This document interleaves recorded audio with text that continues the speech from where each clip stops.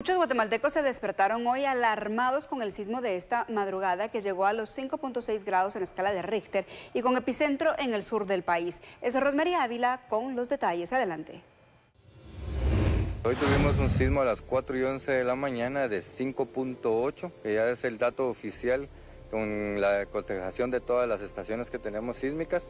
Este fue sensible en Escuintla, Suchitepeques, Retaluleo, Zacatepeques, Chimaltenango y toda la ciudad capital.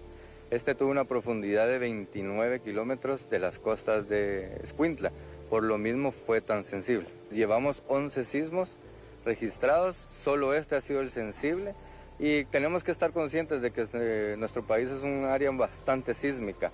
Esto este sismo que se sintió ahorita fue por el área de subducción, que es el choque de la, de la placa de Cocos con la de Caribe cuando la de Coco se quiere meter sobre, abajo de la de Caribe, esto crea estos movimientos, pero es normal.